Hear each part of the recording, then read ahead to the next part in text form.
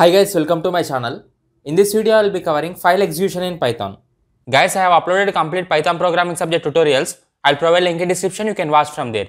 If you are watching this video for the first time, don't forget to like, share and subscribe to my channel. Let's get started.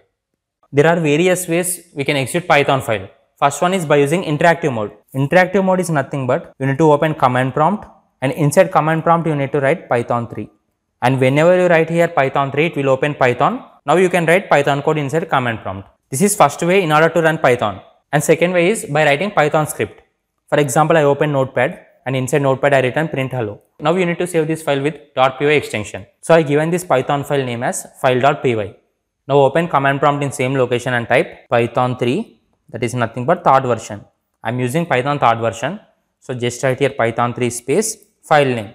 File name is file.py. Whenever you run this line of code in command prompt, you will get output hello. We call it as script mode.